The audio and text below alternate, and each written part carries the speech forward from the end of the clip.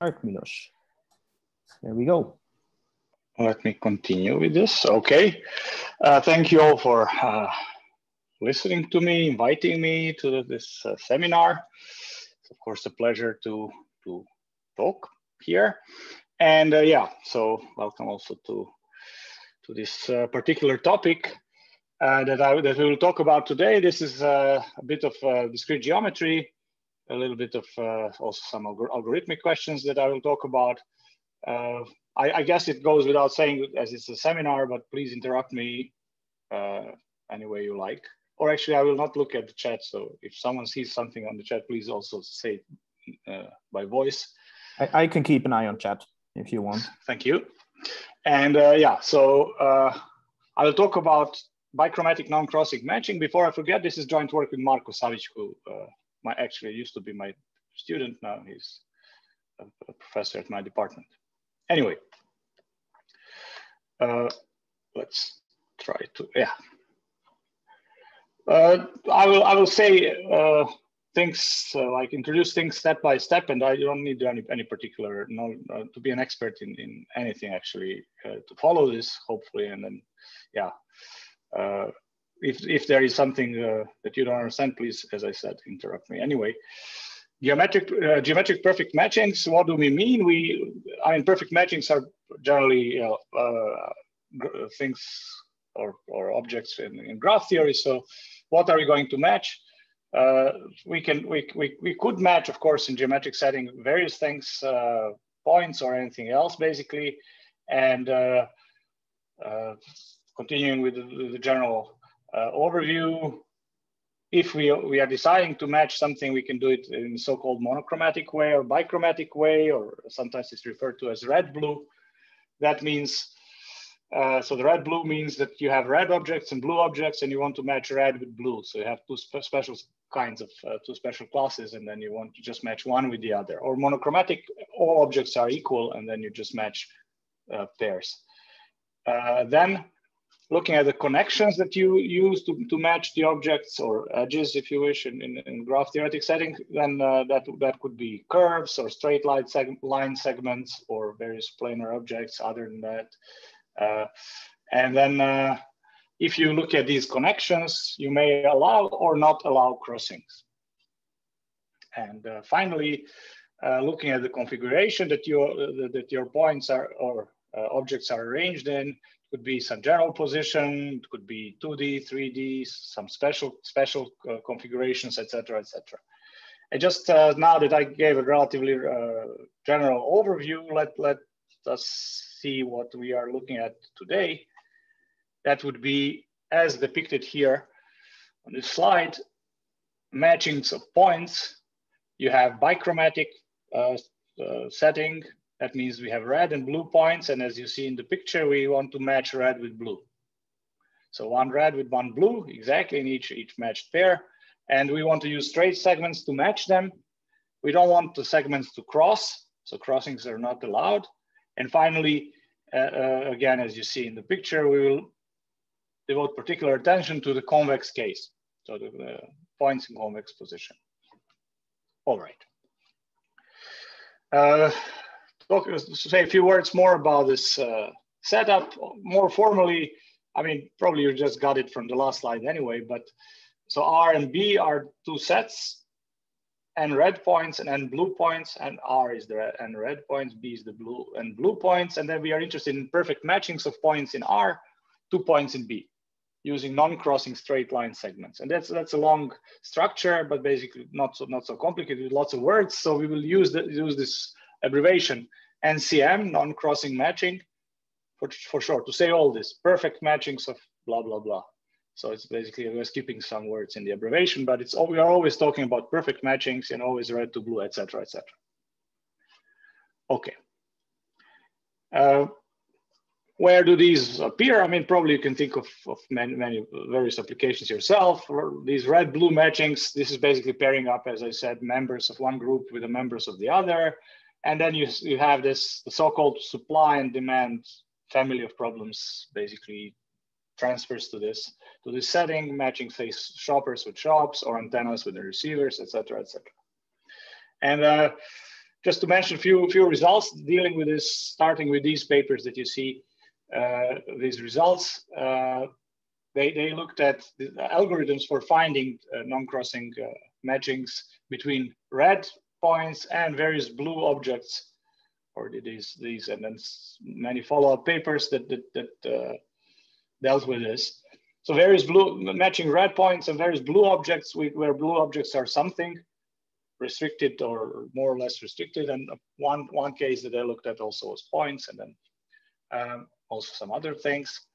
Uh, in these, in these uh, again, results that you see here, uh, they studied uh, structural, structural proper properties of the set of all possible non-crossing matching. So you look at the particular, you fix your point set, and then uh, look at all possible non-crossing matchings, and then see how this how this uh, set sort of behaves, how to get one matching from the other, say how uh, by flips or by some some other uh, so-called flip distance, etc., etc. Again, so various things you can you can uh, study here.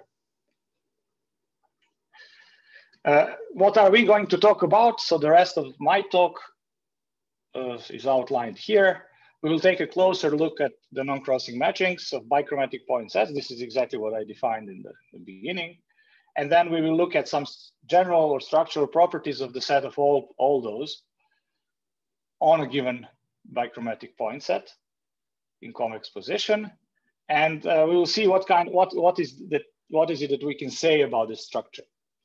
And then uh, we will look at two applications, uh, finding a bottleneck non-crossing matching of a particular uh, or, a, or a point, point set of uh, such points set bichromatic convex point sets in, in, in n square time or quadratic time.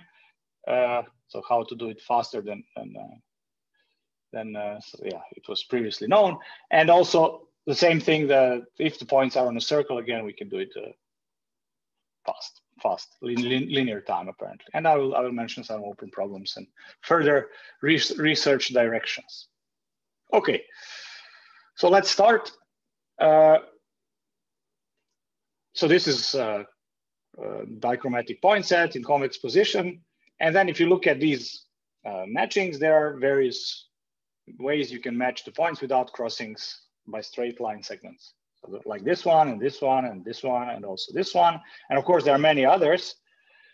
Uh, uh, this is not uh, true for every point set that there are many others. I mean, first of all, note that uh, the, the, the, arrangements of the points around the circle, around the convex hull actually is what, what, what determines if, if matching is valid or not. And uh, this is probably clear already, but let me point out that if if if you look at if you look at uh, say uh, these two points here, blue, and these two points red, so they you cannot cross, you cannot match them the other way as as they would cross, and that does not depend on particular geometric pos position of the of the points, but only on the on the fact that this this one this blue one uh, comes before this one in the clockwise direction and I mean, and the same for the, for the red, if you look at them around the circle. But yeah, so so looking at this arrangement around around the convex hull, we have we have in this particular point set only one unique non-crossing matching. So this is the only this what you see on the screen is the only way, and quite obvious that this is this is uh, or to, to, to convince yourself oneself that this is the case. On the other hand, if you look at this point set where, where the points alternate in colors around the convex hull, we have uh, every two points of different color can be matched in a valid non-crossing matching. So you have full liberty to, to match points as far as, I mean, as long as they are matched red to blue, of course, which is uh, obligatory. So there are different, different situations. And uh, one thing that we will use uh, the term feasible. So if you just have a pair of points i and j, this pair is feasible if there exists a non-crossing matching with, with, this, with this pair matched. So th this means that i can be matched to j. The point i can be matched to point j. And then uh, one thing that we can we can prove, and this is what gives us the, or what we rely on for structure, and this is what we will talk about later, is what we call orbits. Orbits are depicted here in the picture as this, this uh, gray uh, again, uh, convex closures of, of point set, but basically it's just a partition. This is just to uh, illustrate or the, to, to show us what the, the, the, the partition of the point set is. So this, this particular point set partitions into three sets. And these, these, these are again what we call orbits. And orbit is a collection of points which can be matched to each other. It turns out that actually for every point set, the, the, the point set um, partitions into, into orbits in such a way that two points can be matched if they are, uh, so they are, in other words, they are feasible if they have different color and they belong to the same orbit. So for example, if you look at this particular point, this one is red, you know that because you know that this belongs to, if, if you trust me, this is the orbit, actually it is. Uh, if this one, this one, this red can be matched, say to this one in a valid matching, but it cannot be matched, for example, to this one. This is not, this one, is, this one would work and this one would work. Actually, if you would match this one, it's obvious that you, you cut off this one red point here, which is not fixable. So you cannot match everything. It wouldn't be a perfect matching. So it's clear this one is not uh, matchable with this. But the, the, the, interesting thing about these orbits is that, that they are really partitions, meaning that every two points of different color uh, get their feasibility strictly if from the fact that they belong to or not belong to an orbit. May I ask oh, a question? Of course. So is it true that two points are feasible if everything to its left has the same number of red and blue? Yeah, exactly. That's that's a, that's an if and only if. Yeah, exactly. So we have we have uh, basically this this property is is directly inherited from the from the property that you just mentioned. Uh, as as Thorsten said, just just to make sure that we understand, if you if you connect these two on this side, you have the same number of red and blue points automatically also on the other side. And that that's that's the only way, or sorry, the, the only reason you, you are not allowed to match two points if this is not, this property is not satisfied, in which case you obviously cannot match. Yeah. Hey, sorry, can you repeat the definition of an orbit? Or, or what so is or, orbit, orbit is, is defined here. Uh, this is the definition. Uh, orbit is a partition of the point set in such a way that two points are feasible if and only if they have different color and belong to the same orbit. And feasible means they, they, there, there is a matching, valid matching with these two points match. What, what is an orbit? So there are two definitions here. Orbit is a partition. So this is, this was, so I, okay, so I put the theorem before the, the actual definition. Uh, so if you wish, if you want, you could. I just, I just don't understand still what. So the definition of orbit is a partition, right?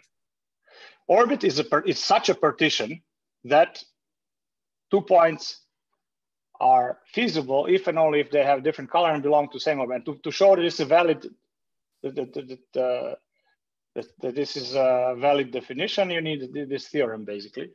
But what is O of I? I don't understand this notation. This is so, this is the uh, the the label of the orbit. The so orbits are I the part. The orbits are the parts of the partition. Ah, yeah. So this means uh, I and J belong to the same orbit. And if I just may, uh, I, I guess just from what you said, this partition is unique, right? Yes. Okay. Ah, so orbits with S is a partition and each set is called an orbit without an S? I don't understand. Each, so orbits are a partition of the point set uh, such that, so every point set partitions into sets, which we call orbits, uh -huh. such that two points can be matched if and only if they are in the same. I see. So okay, so the same full, stop. The same, that's it. That's, that's same class in the partition, the same. Yes, exactly. So in this picture, if I mean picture may may be helpful. Really, can you match two points? Well, yes, if they have different color and belong to the same gray uh, n-gon, k-gon in this picture, or same same part of the partition. Okay. Any other questions? So what was the observation of Thorsten that that? Uh... So if you if you match two two points can be matched, they're they are feasible. They can be they are in the same orbit if and only if they have different color. And when you connect them with a segment on the side of it, or, or both sides, the number of uh, red and blue is the the set is balanced. Number okay. of red and round, round like, number uh, of blue is the. It's a ham sandwich. It's a ham sandwich cut. So yeah, exactly. Yes. Uh, no, not the ham sandwich cut. No, it's not. It's not. Uh, it's not. It's the number of red is the same as the Sorry, number of red on the other side. Yeah, it's a balanced yeah. cut. Balanced cut. Yes, it's a balanced. Not. Not. Yeah. Oh, it's, it's a ham sandwich cut. That's the two-dimensional. No, isn't? Uh, it's not. It's not because a ham sandwich would be that the number of red on the left is the, the same as the number of red on the right.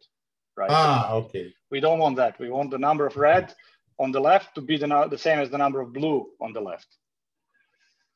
Okay, not not yeah. exactly half. Okay, yeah, whatever. Okay. Are we good? Now it's good that we clear this out because this is really important for the rest of the talk.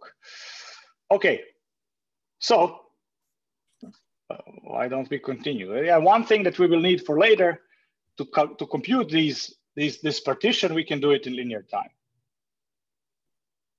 That's what uh, turns out. And then how, how do we, how, how can the set of orbits look like? Well, in this set where, where everything can be matched to everything of different color, then we obviously have one orbit. So if the points alternate in colors. On the other hand, in this extreme example where all points of blue color are together on the convex hull, we have uh, orbits are actually pairs where there's these unique pairs unique unique uh, points where or pairs of points that can be uh, matched. And then uh, you have the third example as, as an intermediate case or lots of examples where, where there are several orbits. But uh, these two would be the, the extreme. And then one, uh, two more definitions that we need for later. Uh, this is something that we call, so there are two terms like, or notions, edges and diagonals. What, what do we mean by that? Two different kinds of segments. If you have this matching, this is a valid matching on this point set. And if we look at the orbits, this particular point set has two orbits. Then we say the edges are the segments in this matching, which are connecting consecutive points in the orbit. So for example, this one here, or yeah, this one here connects two consecutive points of the, of the orbit, but also this one here, even though it goes across, on the orbit uh, boundary, it is the two consecutive points. So these are, this is what we call edges. And then the rest are the diagonals. These are the solid lines. I will remind you that these are the two notions, but we will use occasionally the term edge to denote consecutive points on the on the orbit boundary. So just uh, so, yeah. oh, oh, you mean they are just edges of the convex hull of this the exactly orbit. of the orbit. Okay. Yeah. So you didn't draw all the edges, right? Just some. I did not. I just drew. I looked at this particular matching. Oh yeah, yeah. And just in, in among those segments, some of them will are, are edges, happen to be edges like these, and some of them happen to be diagonals okay, like thank these. You, thank you. So so in, in every matching, is, is it true that for every orbit, we need at least two edges, assuming that the orbit is not just a single edge? Yeah, yeah, yes. Okay, yes. okay, good. Yes, true. Anyway, now let's uh, look at those orbits in more more uh, detail. So if we if we look at we will we will always look at this counterclockwise direction around the convex hull, and then there are two two two ways that an edge of an orbit can uh, appear around looking in this direction. It can be either red blue or blue blue red.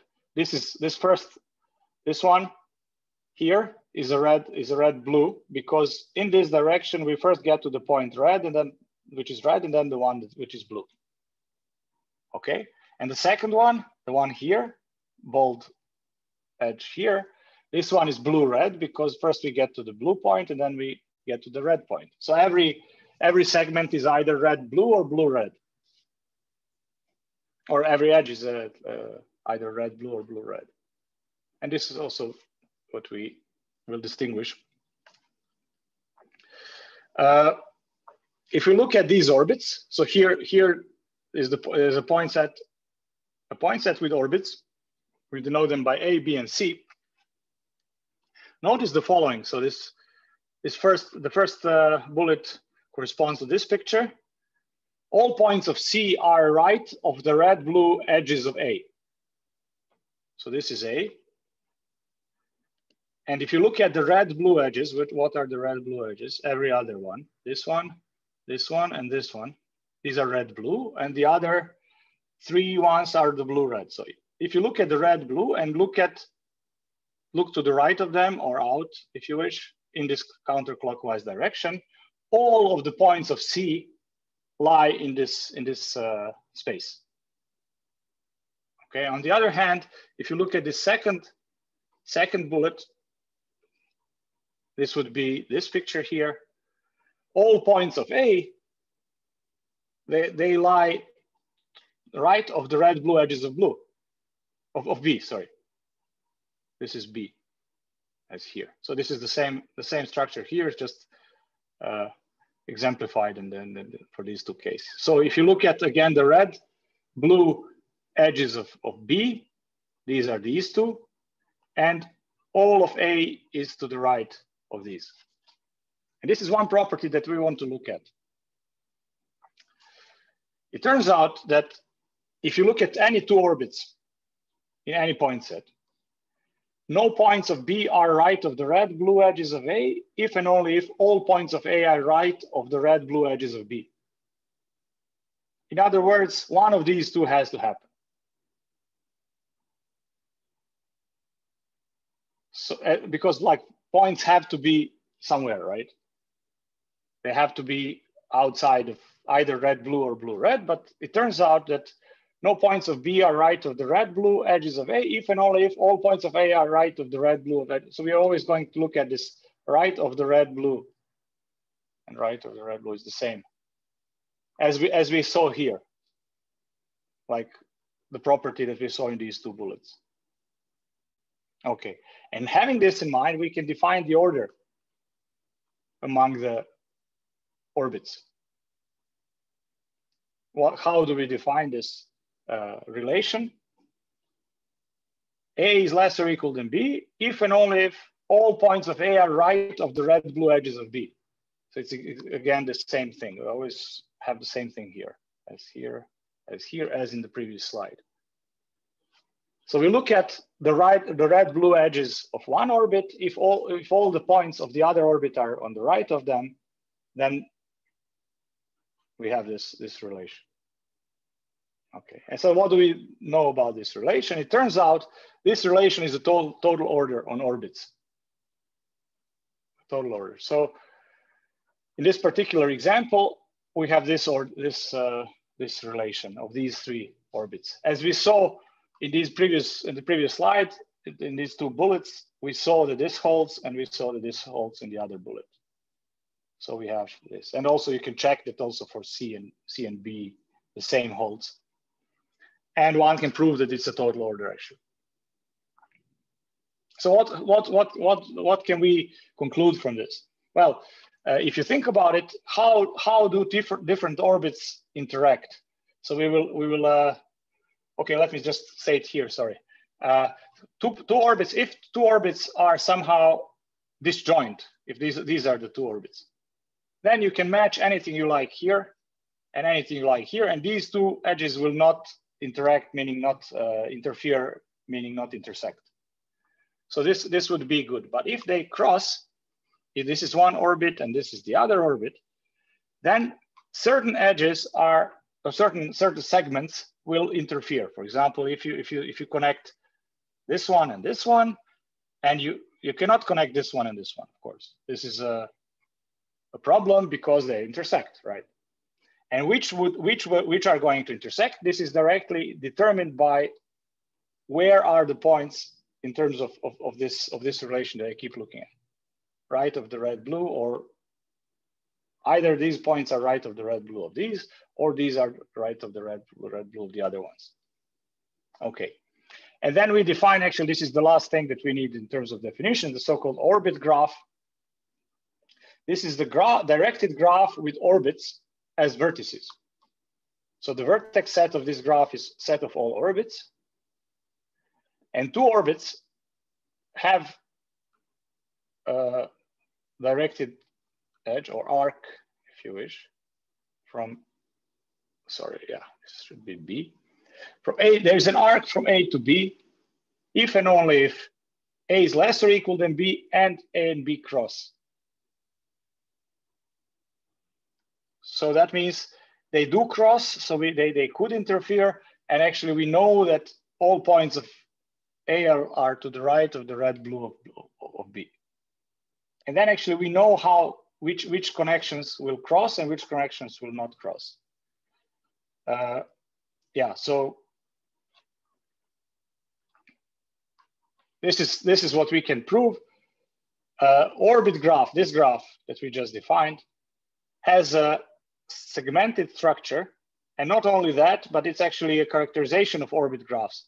This, this, this here, definition of a segmented structure of a graph gives us a total characterization of, of, of orbit graph, meaning that directed graph is, is the orbit graph of a, of a point set, if and only if it, it has a segmented structure. So also, if you have any graph, I will just get into, in, into description of what this means in a second, but actually it's a characterization. If you have a graph satisfying this set of conditions, then there is a point set for which it is an orbit graph. It, it is the orbit graph. So what is, what is this segmented structure? It's very simple. So you can order the vertices from V0, V1, etc., up to V, uh, whatever, M minus one. In such a way that if this is an arc, I'll put more vertices here.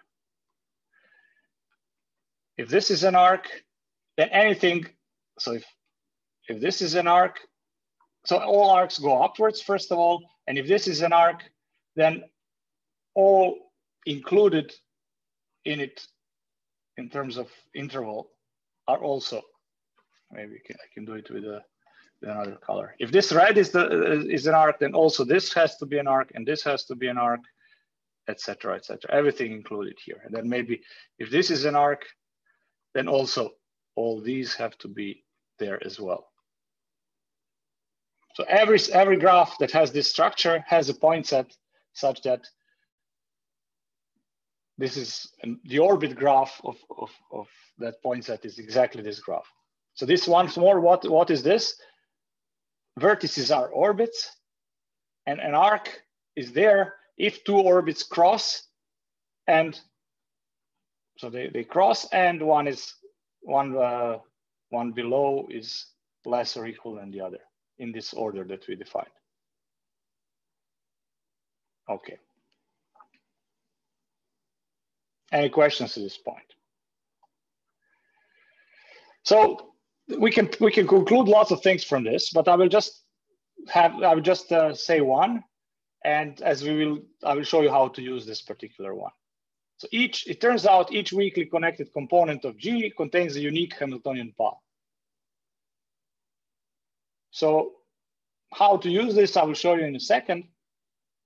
And uh, one more remark, the, this total order and the Hamiltonian paths of, of, of this that we just mentioned here, all the Hamiltonian paths can be computed in linear time. So once this, we get the, this Hamiltonian path is just the one that follows the vertices in the in the order.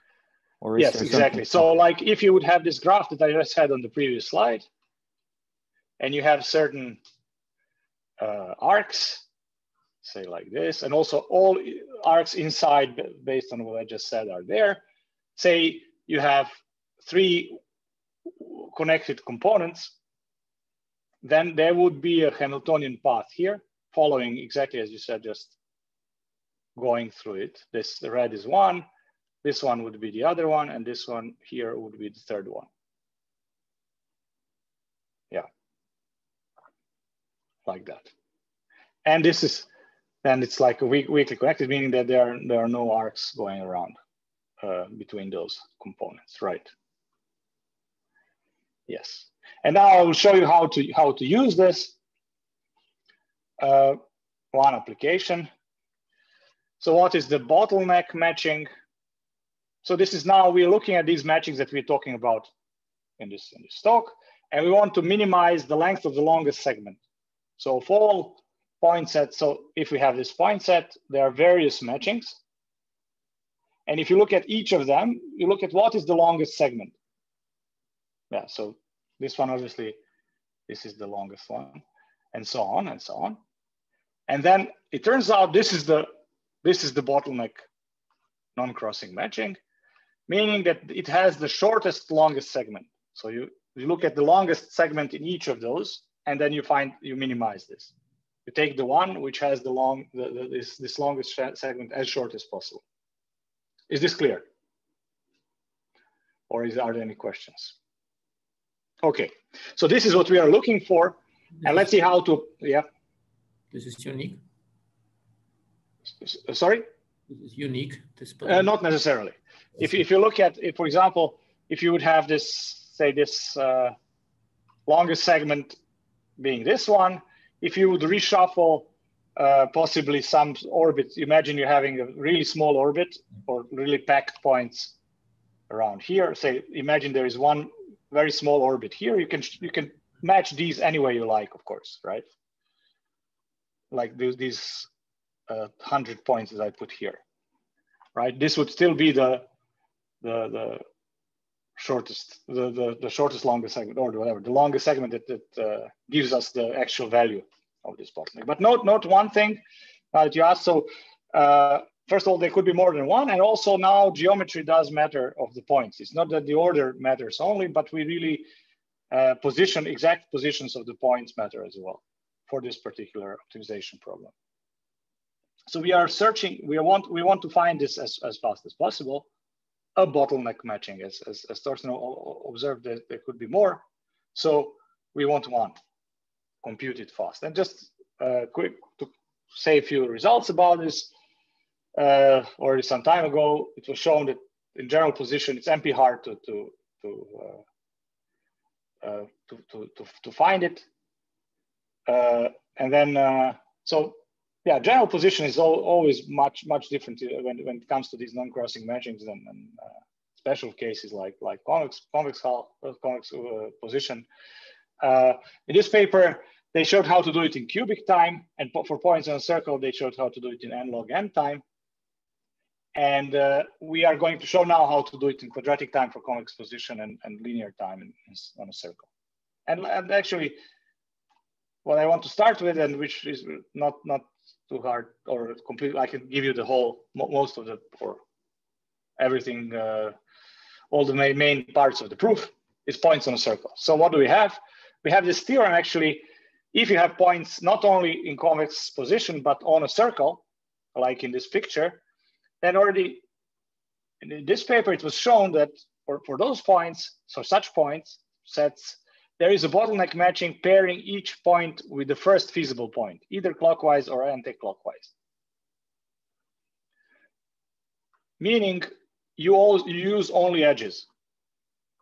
I should have, yeah, okay, I have that. Using edges only. This is what we just defined some, yeah, some minutes ago, that there are edges and diagonals. You can always find the bottleneck matching pairing using only edges what it, so this, just to remind you, probably you remember, this is an edge because it's two consecutive points on the same orbit. So basically, if you look at one orbit, there are two options. Either match, take red-blue edges or take blue-red edges. So you have two op op options. Of course, still the space of these can still be exponential because there could be many orbits and you have two choices for each. So it could be two to the number of orbits options to choose from. But it's much more restricted than in the general case. And we can use this. How can we use this? So this is what I just said. So they're just given an orbit, there are just two options, either this or this. And then if, so why, why, how can we use our, our uh, orbit graph? This is our orbit graph, the one that I was drawing with those etc. arcs. If we have A and B with an arc, this is A and this is B, and there is an arc, then we know that we cannot choose blue-red edges of A and red-blue edges from B. Because automatically by having this arc, we know that they cross first of all, and moreover, because the way of the way how we define this order, that A is less or equal than B, we know that the blue-red edges of A and red-blue edges from B will cross.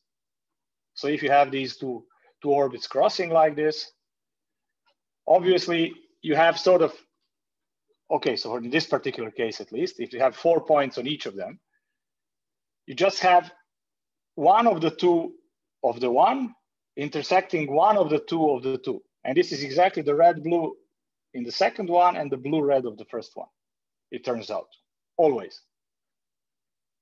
So we really know for each of these options, for each of the orbits, which will cross which, based looking at this graph here.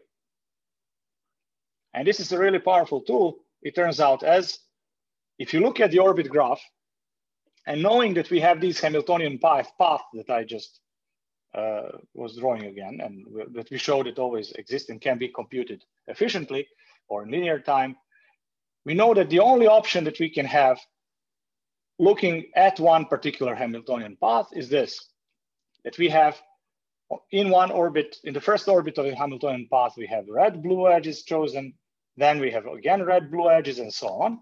But once we switch from red blue to blue red, this is the sort of the, the important part, or let me not draw too many things. Once we switch here from red blue to blue red, there is no, no turning back because you cannot have these crosses, you cannot have, uh, uh, if you would have after blue, red, again, red, blue, you would violate this theorem or yeah, this theorem doesn't allow it. So basically, if you look at this, the only, instead of having exponentially many options, where for each orbit you can choose red, blue, or blue, red, you just have linearly many options. You just need to choose where to switch from red, blue to blue, red. As this theorem guarantees that the only way to do it is to just switch once and never, never switch back. Okay, so the space switches to or, or uh, changes from, from exponential to linear, and then we, of course we can do it in linear time. So we can, as I said, compute Hamiltonian paths and the whole graph in linear time, and, and then traverse and explore all the options for each Hamiltonian path in linear time. And obviously, if uh, looking at different weak components of this graph that I kept drawing on this left side, so I will still do it. If you would have components which have no arcs between them, obviously they, they completely, they are completely disjoint from each other. So obviously you can do whatever you do here above the line is completely independent from what you do below. So obviously each, each of the component can be done separately and independently. And then you just explore all these options and you, you get the linear time altogether. And just a few remarks. Uh, so by the way, the time-wise, how, how are we? Uh, are we, we are we are still fine. We're good. So, yeah, I'll, yeah I'll, good. I'll, be done soon. So yeah. Oh, okay. Uh, yeah, good. Uh, so if you look at the general case, this is uh, this is more more more things that I I, I, cannot really. I mean, they're compl- sort of yeah long, and we need also to look at the geometry and et cetera, et cetera. But I will just show you some some things that I uh, that are actually the main the main ideas of how to do it in general case. I mean, when I say general, I mean not circle but convex bichromatic points. So in full generality of the of the realm of the or, or, or the space of matchings that we are looking at in this talk. So we, we have what we call cascades. What is that? You just look at diagonals. So just diagonals, this would be not edges, but the diagonals. So this would be the solid lines here. So if you look at these two, this is one cascade. Then these two, these three here are another cascade, and these two here are the third cascade. So this is three cascades that we have. What is that? That's basically diagonals that are parallel to each other, meaning there's, there's no other diagonal completely on one side of the, of the convex hull between. So if you would have a diagonal here, this would not be the same cascade anymore, right? So in that sense, parallel to each other. So no other diagonals in between. There could be edges in between, but we don't look at the edges. We just look at the diagonals. And for some reason, actually, this is this is important. Actually, why is it important? I can say right away. So yeah, so this is the, the nicer picture. We have three cascades here in this particular matching. And then we can prove that there is a bottleneck matching with at most three cascades. So it's enough to look to find one. It is enough to look at three cascades at most. And then actually you can you can look at this problem as, as, as uh, by looking at subproblems. What do I mean by that? I mean that if you if you would subdivide this into sort of three parts, say this this way and this way and this way, then you just in each of these subproblems, like this one here, or like yeah, it's clear there are three of them between the, those separating lines. Each of them just has one cascade. in, in this in this part in this part here. Okay.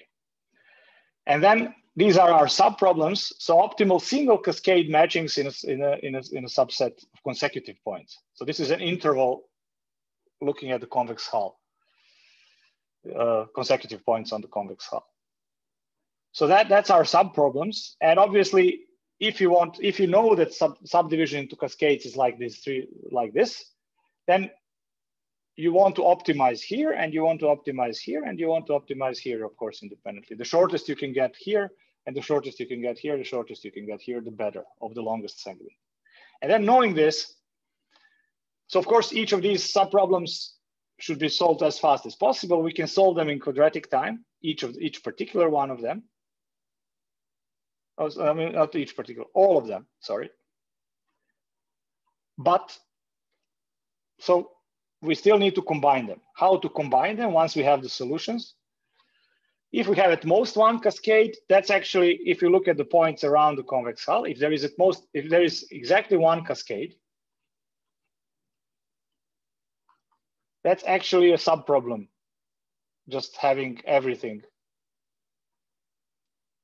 in one subproblem. So that's that's actually what we get for free every solution, every every case of having at most one cascade. If you have two cascades, to think about it, it's not possible. It's not possible to have some diagonals parallel like this and then some other parallel like this. If you want them not to be in the same cascade, not to be case one, then you need some third cascade to, to have to have a separation of the first two. So that's actually not possible. And then the, the, the case of three cascades remains. And then if we just split in three parts and use subproblems in all possible ways, to split into three, this is cubic in all possible ways, to, to just go through all possible splits like this. So this would be cubic time. This is not an improvement to, to the previously best, no? But what we can do is that now using the orbits, we can show that it is enough to consider only certain splits. So not all cubically many splits, but actually just quadratically many splits. And uh, then we have quadratic time altogether. Because for subproblems, we need quadratic times altogether. Sorry, I might, get, I might have missed that. something. Do you not have to call this quadratic algorithm now n squared times for all uh, different? Uh, which, which one? So there's this one? So, so you, you have n squared different partitions into cascades that you need to consider. Yes, but uh, subproblem, each sub problem can be should be uh, solved only once. So what we do, we, we pre-process. Oh, by all, all sub-problems, you mean all, all sub-problems? All, all, yeah, sorry, okay, I actually, okay, I, I actually yes. said it wrong, wrong yeah. way, but so I corrected myself. So the, just to just go back, sorry. All sub-problems can, all together, all sub-problems. Like over, over all possible. Yes. Okay. okay. Not, not just each sub-problem yeah. can be solved in quadratic time, okay. all Okay. All subproblems can be solved in quadratic time. Yeah. So we we get we solve all the subproblems. We we finish. We store this, and then we go through all possible. And we find all actually we need to find all n squared splits that are interesting, three-way splits. Like splits, splits are still splits into three parts. and then we just read from our from our uh, like sort of this dynamic uh, table of subproblems. What is the what is the longest segment for each of these three? And then we have the total solution. And this altogether a quadratic time uh, uh, algorithm. Okay. Just uh, i will i will uh, if yeah so i will get to some some open problems there are lots of open problems here uh, of course, this there's a, a super, a, a, a very com complex open problem. What if points are not in convex position? Yeah, that's a very general question. We know now what to do, or we sort of have a very nice structure that we can work with if we have convex position. But if we if we say put one vertex inside the convex hull, it's already much less clear what to do and how to transfer this. And not to mention general position or the position in full generality without any, any, any assumptions. This, of course, there are many other results already uh, known about this that, that give us a hint that this is uh, substantially different, but actually it, it would be nice to know this answer or a partial answer or some, some kind of uh, structure, uh, structural result for any position other than convex. Actually, I would be very interested to see that. And uh, something or how does this relate what we what we have for for for these these uh, general whatever general means more general than convex positions including just a couple of points out uh, not on the convex hull or say one there is one uh, there are several special cases also uh, special cases done apart from convex position for example there is this there are several that are this this I'll just mention this one. If you have blue points on a line, so if you have blue points are all on one line and red points are in this half, uh, half plane, say above, like this, anywhere in the half plane. Then uh, they show in this paper that uh, they can do, or they can find the, the bottleneck matching in cubic time. And they also, they can tell a lot about the structure. Apparently you can look at certain points, let's say the highest point of red, and if you look at its connection, its connection splits everything into two parts and so on, then you can exploit this, but they have a clever approach to, to actually tackle this. But already if you have, if you allow points on the other side as well, the red ones, it gets much more complicated and uh, that's open, for example. Also, uh, all blue points in a circle and red points say inside or outside, and you name it. There, there are several special cases that are interesting for various reasons that are that are more or less open. So if you would have, so again, imagine that blue points are on the on the on the on the circle and red are all inside or outside or something like that. So that's that's for example open, and there are yeah I will I will uh, I, I I don't want to say more. Uh, yeah, so I'll I'll I'll stop here actually. Yeah, thank you. All right. Thank you very much, Milos. Um, do we have questions? Yes, for instance, what about other than Euclidean distances in the plane, let's say? Uh, you mean uh, for for bottleneck, of course. Yeah. So that's uh, that's an interesting question. So our uh, our approach certainly doesn't uh, automatically transfer to an, to another metric. Uh, we we use the you really use some Euclidean properties, say angles of triangles, implying the lengths of sides of triangles, etc., etc. And also for the circle case, you know know a lot about the Euclidean distance in the in the circle, and this of course breaks down if you go to another uh, metric. So it would be an interesting. It's an it's it's also not has not been studied, and I think it's an interesting question and I don't know much about what what would be the complexity.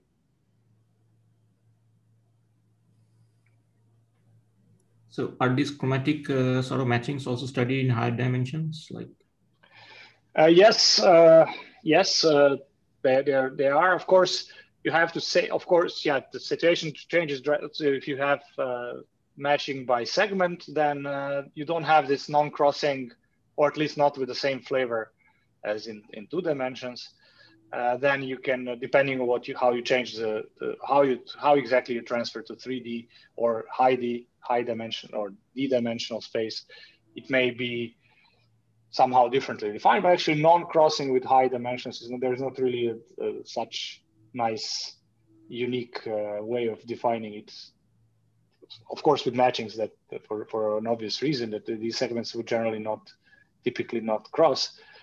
Uh, but yeah, so if you if you decide to match triples and then you look at these these uh, sim simplices or like triangles, uh, convex closures of the three triples which are triangles, and then you may look at that, but that gets increasingly complicated. So, and also less, it's less uh, transfer transfers less to, to some some uh, real life problems actually. So, make, one may wonder what what exactly how exactly we want to define it.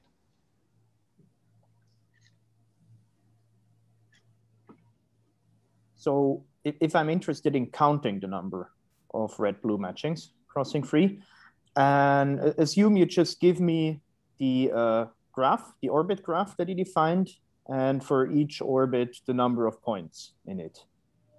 How much can you say from this about the number of matchings? Yeah, so uh, if you look at, of course, if you look at each particular orbit, then the orbit is actually completely the same as this uh, alternate. I mean, in the orbit, in one orbit, points need to be alternating. This is what we already concluded. So in, in, in a given orbit, of course, we know what the number of uh, matchings would be. So if we have a single orbit, then it's the Catalan number, I guess, right? Yeah, it would it would be it would be uh, if there would be monochromatic, but then you have to exclude some so there is of course yeah. So but again it's a it's a catalan it's a different mm -hmm. number. So right so there's there are two two two possibilities. Either you have, if you have monochromatic so you can match any two points then it would be this fame this sort of uh, situation with the catalan numbers. If you have more bichromatic you can still count them and you actually again catalan numbers get into picture. So yes it is it is Catalan numbers of some kind. And uh, the, the, of course, the, the thing that gets complicated is uh, which exactly, which matchings exactly cross mm-hmm. uh, with the other orbits matchings. And with that, uh, if we look, if you're looking at bottleneck, what we looked at, then you have certain restriction of what you of the space, as, as I mentioned, that you only need at most three cascades, et cetera, et cetera, et cetera. But if you're counting, then of course you cannot do that. Mm-hmm. And then uh, at this point, we don't have enough to actually get a really good pin on the on the pin down on, on, on the on the number. Okay. Thanks. Uh, are there any other questions? Yes. So Milos, at the beginning, you I think that you mentioned some things that are known to be NP hard or NP complete. What were those?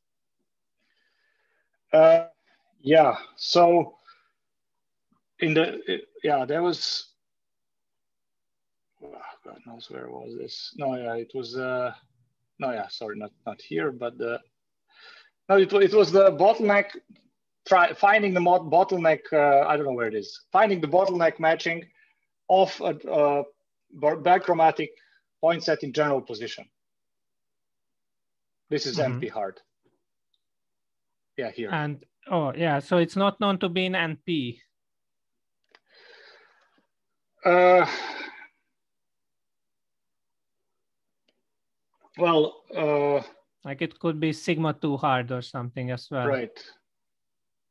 Right. It's not known to be NP in NP. Right. Yes. So that's another interesting open. Yes, that's a, that's an interesting. Yeah, yeah, yeah. I uh, I haven't thought about it much, but yeah, you're seems yeah seems that yeah this, this is true. Yeah, it's it, no, it's yeah you're, you're right. Yeah, it, it's it's an interesting problem and it's not not known. Yeah. Hmm. Okay. All right. Are there any other questions? That doesn't seem to be the case. There's also nothing in chat. So yes, thank you very much again, Milos, for the nice talk.